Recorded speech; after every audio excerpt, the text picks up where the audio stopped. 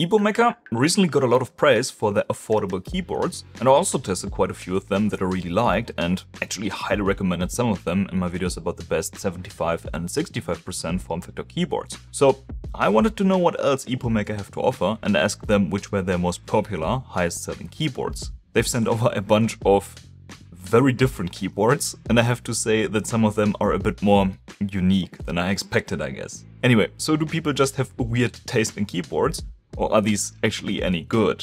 Let's start with a more modest keyboard, the RT100. Now this one has a 96% layout, which keeps the number pad, but is not that much wider than a 75% keyboard for instance, which is quite nice. Now you might have noticed this little screen right here, which is kind of what makes this keyboard unique. And yeah, I had some fun with it. You can upload images or GIFs with the Epomaker app and also have it showing the CPU load and temperature. But honestly, I wish you could customize it a bit more, like changing the layout for instance. But uploading different images or GIFs is basically the only customization option. Now the typing experience on this keyboard is actually very interesting. The first thing you'll notice is that this keyboard is extremely quiet.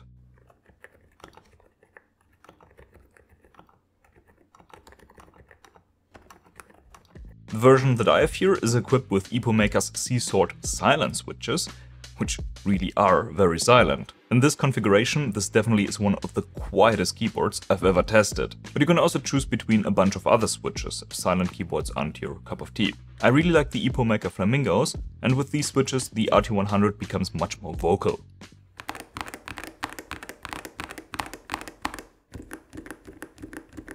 I kind of prefer the sound with the Epomaker Flamingo switches, and even with these switches, this still is a rather quiet keyboard, as it has a lot of dampening. The typing feel is soft, and even a bit mushy I have to say. It has a gasket mount and a PC plate with flex cuts. You can feel and see the flex, but this doesn't feel as nice as a more premium gasket mounted keyboard. This retro white and brown colorway is also the only variant that's currently available, so this certainly isn't a keyboard for everyone. I mean, you're probably gonna love this keyboard if silent retro style keyboards are your thing, but I'm actually gonna put it into the B tier. Mainly because this keyboard right here exists and comes in at basically the same price. It's from Epomaker's subbrand Cidoo. It's a 96% keyboard as well, and it's available in much more mainstream friendly color variants. And right away, it feels like a much more premium keyboard. The almost 500 grams weight difference already is a good indicator of how much more solid this keyboard feels. The knob and this part around the USB port are made from metal, and the keycaps of the white version that I have here actually are double shot PBT, which is great to see for a $120 keyboard. The sound signature hits a nice balance between thocky and clacky and probably something many people will enjoy.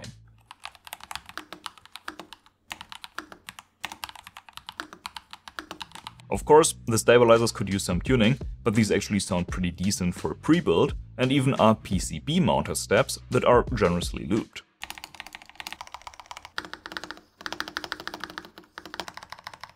I also really like that this keyboard is VIA compatible, which makes the configuration process a lot easier and you don't have to install another software utility.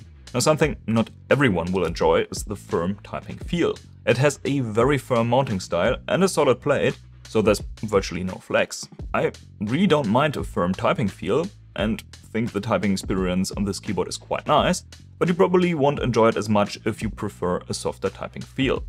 Overall, this is an A-tier keyboard. A really great option if you like the 96% layout. If you prefer a smaller layout, you're probably gonna like this one. It's the EK68, which is a 65% keyboard. At first glimpse, you might mistake this for an aluminum case, but it's not. It's a $90 keyboard, so a metal case would be kinda crazy. But yeah, from a distance, the fake aluminum is actually quite convincing. Less so if you look closely or actually touch the case. I still think it looks quite nice, and overall this keyboard kinda reminds me of the Keychron Q2, which is a real aluminum keyboard. Because just like the Q2, this is a 65% keyboard with a knob, it has south-facing RGB and it's using a gasket mount. And the EK68 even comes with pretty high quality double-shot PBT keycaps, which look suspiciously like this $60 set from Echo. That's kinda insane for a sub $100 pre-build. Now, the sound signature leans a bit more towards the clacky side, but I quite like how it sounds.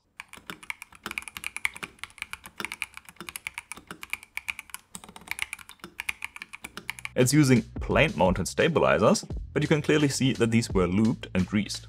And they actually sound pretty decent.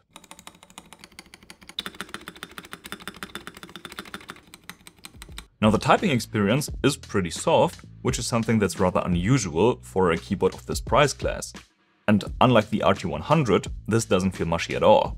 The plate is rather firm, so it's the whole PCB and plate sandwich that's traveling when you press down at it. In combination with the EpoMaker Flamingo switch, which is a really smooth linear, this makes for a pretty nice typing experience. And I even slightly prefer this over the TH68 and TH66, which both are great keyboards. These are very similar to the EK68 with similar layouts and similar feature sets, and they all cost roughly $90, give or take a few dollars. But the EK68 comes with these nice double-shot PBT keycaps, whereas the other two just ship with die-sub PBT keycaps. And the TH68 and TH66 both have firm mounting styles, so I feel like the gasket mount of the EK68 just adds this little bit of extra refinement. So I'm gonna put the EK68 into the S tier, and the TH66 and TH68 are going into the A tier. Can't really go wrong with either one, and if you're chasing that thocky sound signature, you might even prefer the TH66.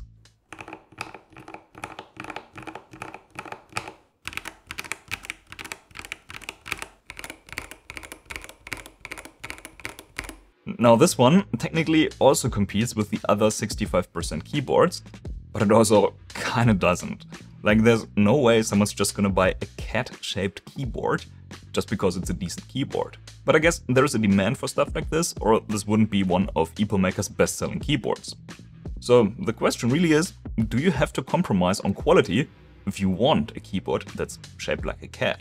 But this is a decent keyboard with some nice die-sub PBT keycaps and EpoMaker Flamingo switches but it's not as good or refined as the EK68.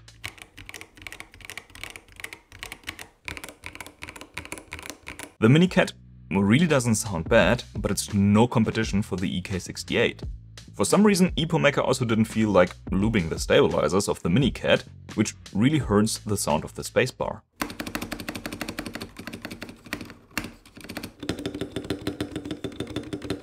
This is fairly easy to fix, but something you don't really have to do with the EK68, which by the way comes in at about $90 as well.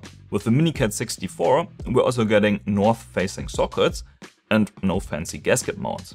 It does have some amount of flex towards the center, which is caused by the PC blade and a somewhat loose mounting style, but it's firm towards the side, which overall makes it feel a bit inconsistent. I'm also not a big fan of the way the case is constructed. It's made from a bunch of layers of acrylic that are just stacked on top of each other without any adhesive between them. So even when just picking up the keyboard, you notice that the layers separate with minimal force. Where the acrylic is thin, like here under the spacebar, it bends pretty easily, which honestly makes this keyboard feel a bit cheap. Now on the plus side, we're getting VIA compatibility, which is extremely rare in this price class.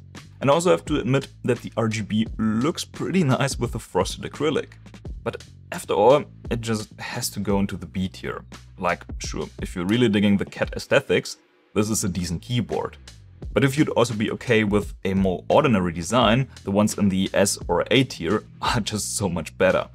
Now this keyboard right here might look familiar to you. It's the EP84, and even though it's not the newest keyboard anymore, it still is very popular. But to be honest, it really shouldn't be. Don't get me wrong, it's not terrible, but there are just so much better alternatives nowadays. Like, why would you buy an EP84 when you could have the TH80, also from EpoMaker, for just about $15 more?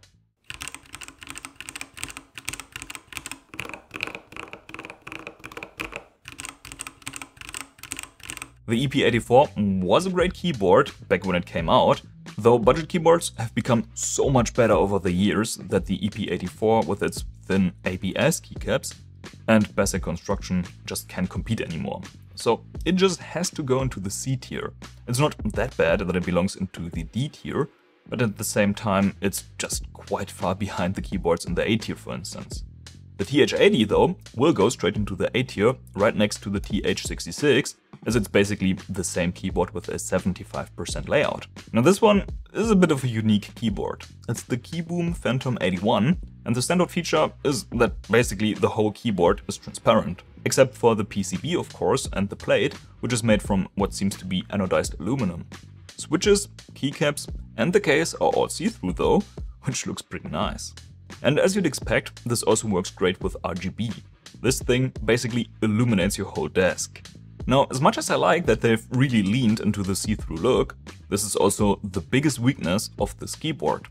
These see-through keycaps sure look great, but might be the worst keycaps for typing and gaming I've ever tested.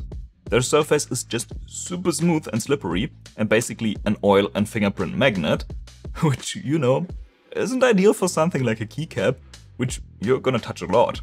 Of course, you could just switch out the keycaps, but this not only drives up the cost, but also kind of defeats the point of a keyboard like this. Though the good news is that even with these see-through keycaps, it actually sounds quite nice.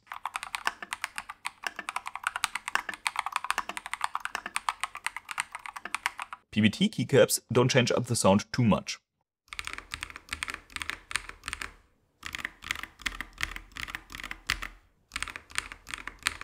And the PCB mounted stabilizers are also tuned rather well.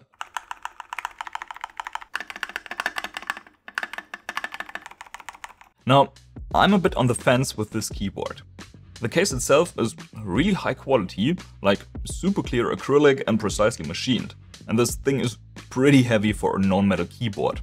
It's also using a silicone gasket mount, which adds some flex. This really would be a nice keyboard if it wasn't for those keycaps but without see-through keycaps, I think it would lose a lot of what makes it special.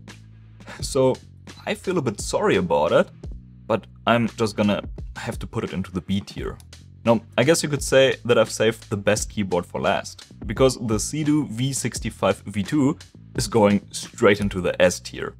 It's a VIA compatible 65% aluminum case gasket mount keyboard that goes for about 130 US fully built. Which, in case you're unfamiliar with keyboard prices, is actually pretty cheap for what it is. And this is a great keyboard. The aluminum case is machined nicely, it seems to be coated rather than anodized, but the surface quality is really good. This is the retro grey version by the way. Color choices though are very limited as it's only available in this retro grey or white at the moment. Either way, it comes with a nice set of super thick die-sub PBT keycaps. And I also like the stock Quark matte switches, at least some of them. I'm probably nitpicking here, but the factory lubing could be a bit more consistent. Anyway, here's how it sounds.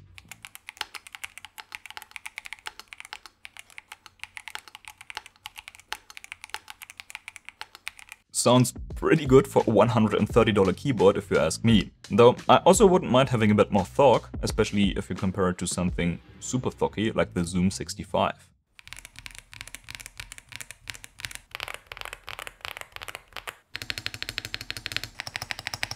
The stabilizers already are pretty decent out of the box, but the board is also compatible with PCB mounted stabs, so you could also replace them with something nicer. You could also experiment with leaving out some of the various Poron foams that it comes with.